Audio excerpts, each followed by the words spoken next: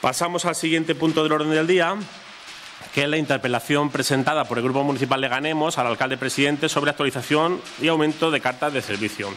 Le pediría al público que, por favor, mantengan el silencio para que podamos continuar. ¿Quién va a tomar la palabra? La señora Condes.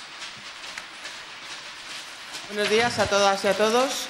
Lo primero queremos mostrar nuestro apoyo por los trabajadores que hoy vuelven a manifestarse aquí en el Pleno, que creo que tienen motivos suficientes. La interpelación es sobre las cartas de servicio que el Ayuntamiento de Leganés adquirió el compromiso de adecuar su funcionamiento como institución a, las necesidades definidas por y para los ciudadanos. Para alcanzar ese objetivo, una de las principales herramientas utilizadas. Señora Condés, espere, un segundito que no la escuchamos. Le ruego, por favor, que mantengan el silencio.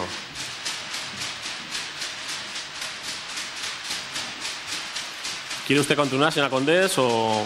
Yo creo que hay que darle una respuesta a los trabajadores antes de que continúe. Lo que pasa es que no le gusta la respuesta que les hemos dado. Bueno, a lo mejor también a los concejales y concejalas de este pleno necesitamos conocer esa respuesta. Bueno, eso cuando presenten una pregunta, una iniciativa, la contestaremos. Ahora estamos hablando de carta de servicio.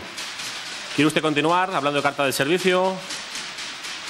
Pues vamos a hacer un receso de media hora. Bueno, vamos a reanudar el pleno. Estábamos en la interpelación de Leganemos sobre la actualización y aumento de cartas de servicio. Señora Condés. Buenas de nuevo a todos y a todas y todos, perdón. La interpelación que se hace es sobre la actualización y el aumento de las cartas de servicio. El Ayuntamiento de Leganés adquirió el compromiso de adecuar su funcionamiento como institución a las necesidades definidas por y para los ciudadanos para alcanzar ese objetivo, una de las principales herramientas utilizadas para mejorar la prestación de servicios al ciudadano, implantar sistemas de comunicación eficaces y establecer sistemas de información que faciliten agilidad, publicidad y transparencia en su gestión son las cartas de servicio. Dichas cartas de servicio, a través de las cuales la Administración pública informa a los ciudadanos y usuarios sobre servicios encomendados y que prestan y condiciones en las que lo efectúan, compromisos de calidad y estándares de calidad asumidos, derechos y deberes de los ciudadanos, responsabilidad de quien presta y quien recibe, sistemas de participación de ciudadanos y usuarios. El plazo de vigencia de estas cartas de servicios oscila entre los uno y cinco años según la normativa. Al igual que se debe establecer un seguimiento interno y externo, la actualización y el número de cartas de servicios.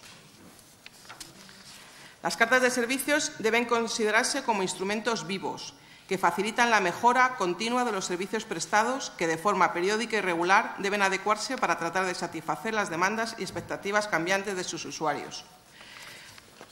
En la web municipal están puestas las 21 cartas de servicios que tiene este ayuntamiento.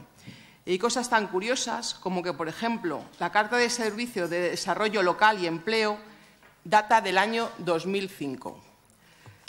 Queríamos saber qué piensa este equipo de gobierno, si piensa reeditar, actualizar, mejorar y aumentar el número de cartas de servicios y si es voluntad de este equipo de gobierno facilitar los recursos necesarios para llevar a cabo este cometido. De momento nada más. Muchas gracias, señora Condés. Por la respuesta a todo lo que está planteado, sí. Actualmente están publicadas 20 cartas de servicio. La número 21, el ayuda a domicilio, se retiró en mayo de 2015 a solicitud del área. Todas las cartas de servicio se, elaboran entre, se elaboraron entre 2003 y enero de 2011. Asimismo, entre enero de 2007 y enero de 2011 se revisaron nueve.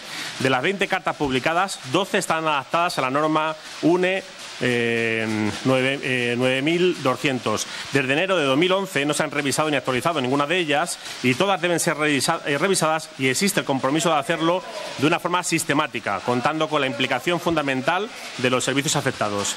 En los últimos meses se han elaborado plantillas estructuradas para revisar 16 de ellas junto con áreas municipales implicadas. En cuanto sea posible se abordarán las plantillas de las otras cuatro. Se han aprobado el 26 de abril la prórroga del contrato de consultoría de calidad para eh, tener los instrumentos necesarios para poder abordar la revisión de todas estas cartas de servicios. En función de los, recursos disponibles, tanto en calidad como en las áreas de gestión, se ha previsto revisar en un periodo de tres años todas las cartas de servicios existentes, pudiendo dar el, paso, pudiendo dar el caso de que alguna de ellas cambie sustancialmente en cuanto a contenidos e incluso en cuanto a denominación. Para el periodo entre mayo de 2016 y mayo de 2017 se pretende revisar las siguientes cartas de servicios. Escuelas infantiles, parques y jardines, archivo municipal, instalaciones deportivas, centros cívicos, OMIC y policía local. En el momento en el que se revisen, se empezará a obtener y a publicar en la web y en el portal de transparencia los resultados de los indicadores de estas cartas. Tiene usted la palabra, señora Condés. Yo creo, señor alcalde, que igual que ha hecho un receso de 30 minutos, debería de parar este pleno y que se pudiera escuchar tanto a los representantes de los trabajadores como al señor alcalde presidente de este municipio para que sepamos exactamente todos y todas cuáles son las reivindicaciones que tienen estos eh, trabajadores y si realmente están eh, eh, fundadas o si es un error, porque aquí es el segundo pleno que tiene camino de ser suspendido y yo creo que realmente es importante las reivindicaciones que tienen estos trabajadores. Si hacemos otro receso, porque es que no nos escuchamos y no nos enteramos de los que hablamos los unos y los otros, pues yo creo que podemos aprovechar ese receso para dar voz a los trabajadores y que el equipo de gobierno diga por qué ha sacado ese pliego. ¿Algo más que decir con, eh, respecto a este esta interpelación? Pues en cuanto a la interpelación, yo creo que las cartas de servicio son importantes, pero las reivindicaciones de estos trabajadores son mucho más importantes en este momento. Tampoco tengo nada más que decir. Pasamos al siguiente punto, que es el de reconocimientos extrajudiciales. Bueno, pues vamos a la vista de esta situación, si les parece, vamos a suspender el pleno cinco minutos, vamos a tener una reunión de la Junta de Portavoces en la, la sala de aquí al lado. Junta de Portavoces.